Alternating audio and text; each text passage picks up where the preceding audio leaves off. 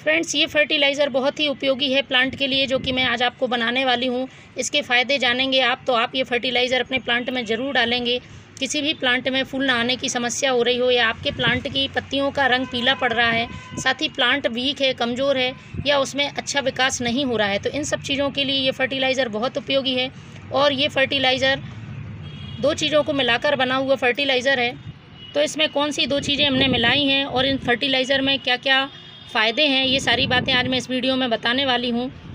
क्योंकि ये जो फर्टिलाइज़र बनेगा, वो सारे पोषक तत्वों से भरपूर होगा, किसी भी पोषक तत्व की इसमें कमी नहीं होगी और प्लांट की सारी समस्याएँ यूँ ही दूर हो जाएँगी।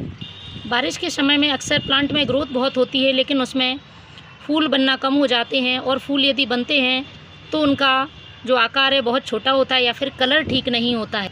पत्तियाँ पीली पड़ने लगती हैं। तो फ्रेंड्स ये जो समस्याएँ होती हैं, इनके कई कारण होते हैं। प्लांट्स में पहले हमें उनको जानना ज़रूरी होता है। यदि प्लांट में किसी तरह के इंसेक्ट अटैक जो कि बारिश में अक्सर हो जाते हैं तो उसकी वजह से भी प्लांट फूल देना कम कर देता है या प्लांट सूख जाता है या फिर उसकी ग्रोथ रुक जाती है। तो आपको रेगुलर देखना पड़ेगा चेक करना पड़ेगा। प्लांट में किसी तरह के पेस्ट अटैक तो नहीं है।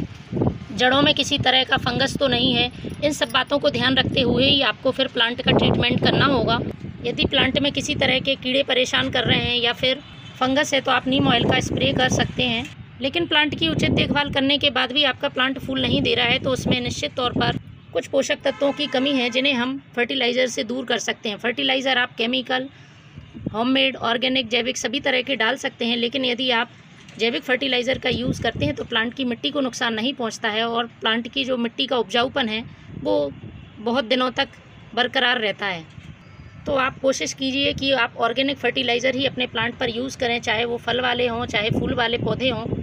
तो मैंने जो ये फर्टिलाइज़र बनाया है, उसमें इस तरह की चीज़ों का इस्तेमाल किया है, जो आपके प्लांट में किसी तरह की मिट्टी में फंगस होगा या पत्तियों पर कीड़ों का अटैक होगा तो वो भी दूर करेगा और प्लांट के लिए पोषक तत्व भी देगा, जिससे कि प्लांट ग्रोथ भी बहुत अच्छी करेगा और उसमें फूल भी बहुत अच्छे आएँगे।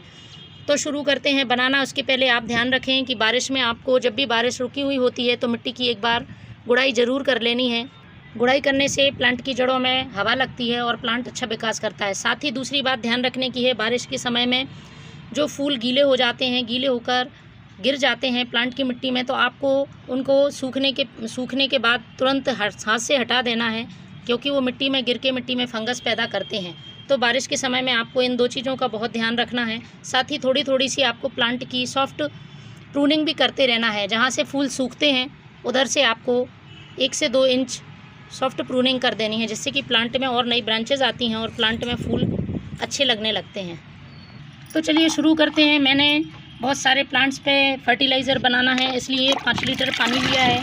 आप अपने प्लांट की मात्रा के हिसाब से फर्टिलाइज़र बना सकते हैं और इसमें पाँच लीटर पानी में मैं डालूँगी ये एक से डेढ़ लीटर पानी है चावल का पानी, जो कि मैंने एक दिन पहले ही इसको स्टोर करके रखा हुआ था। इसलिए इस तरह से ये दिख रहा है।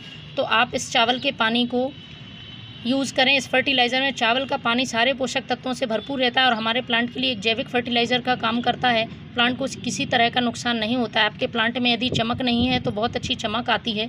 तो मैं ये चावल का पानी इस सादा पानी में मिलाने वाली हूँ। इसके बाद इसमें दो चीज़ें और डालने वाली हूँ जो कि प्लांट को पूरी ग्रोथ देगी और प्लांट की जो भी समस्याएँ हैं वो ख़त्म होंगी। तो मैं इसको अच्छी तरह से हिला लेती हूँ। उसके बाद इस पानी में इसको डालना है। आपके पास जितना भी चावल का पानी अवेलेबल हो, आप वो डाल सकते हैं।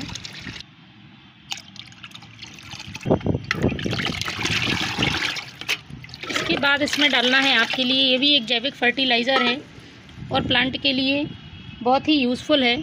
सी वीड लिक्विड फर्टिलाइज़र ये समुद्री शैवाल का जो एक्सट्रैक्ट होता है, वो होता है और बिल्कुल ऑर्गेनिक है तो इसको आप आसानी से डाल सकते हैं। सभी प्लांट के लिए यूज़फुल है तो मैंने ये 10 से 12 एम फर्टिलाइज़र इसमें डाल दिया है। इसके साथ ही इसमें एक चीज़ और डालने वाली हूँ। ये जो सीवीड फर्टिलाइज़र है, वो प्लांट के सारे पोषक तत्व इसमें रहते हैं। माइक्रो मैक्रो न्यूट्रिएंट से भरपूर रहता है। तो आपको यदि आप ये यूज़ करते हैं अपने प्लांट पे तो प्लांट की सारी जो पोषक तत्वों की ज़रूरतें हैं, वो पूरी हो जाती हैं। तीसरी चीज़ है ये हल्दी पाउडर। एक से आधा चम्मच आप हल्दी पाउडर ले लें। ये सारी चीज़ें मैंने पाँच लीटर पानी में बनाई हैं। आप कम ज़्यादा कर सकते हैं अपने हिसाब से और इसको अच्छी तरह से हमें मिक्स कर लेना है। हल्दी पाउडर बहुत अच्छा एंटी बैक्टीरियल एंटी फंगल का काम करता है। यदि बारिश की सीज़न में मिट्टी में किसी तरह का फंगस लग जाता है या प्लांट पर, पत्तियों पर किसी तरह के कीड़े अटैक रहते हैं तो ये हल्दी उनको दूर करने में बहुत हेल्पफुल है। ये हमारा फर्टिलाइज़र तैयार है और इसको आप किसी भी प्लांट की सॉइल में डाल सकते हैं।